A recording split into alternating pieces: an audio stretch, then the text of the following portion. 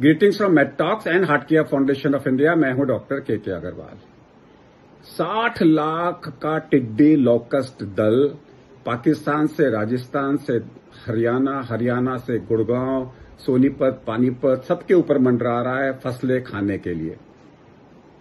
और अगर हमने इसको नहीं बखाया तो सारी फ़सलों को डैमेज कर देगा, सारी फ़सलें चली जाएँगी भारत से। एक बहुत बड़ा इकोनॉमिकल लॉस होगा। आप कुछ भी करिए, आप थाली बजाइए, कुछ भी बजाइए, इसको वहाँ से भगाइए। क्या ये मेरी सेहत को नुकसान कर सकता है? Answer is no on the fact लोग तो इसको खाते हैं, पका के, बिरयानी बना के लोग इसके खाते हैं। मेरे स्वास्थ्य के लिए खराब नहीं है, लेकिन मेरी फ़सलों के लिए खराब है।